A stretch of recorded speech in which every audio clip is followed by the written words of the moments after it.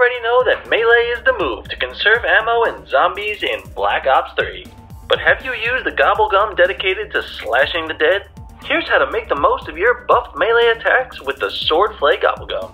First and foremost, remember you can't bank the Swordflay like some other flavors. Do your best to hold off on activating Swordflay until you're in some trouble and you can score big quickly. Swordflay buffs the melee power 5 times, so you can count on one hit melee kills on any wave.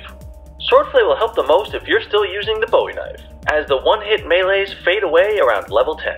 For the full article and everything Call of Duty, check out opshead.com.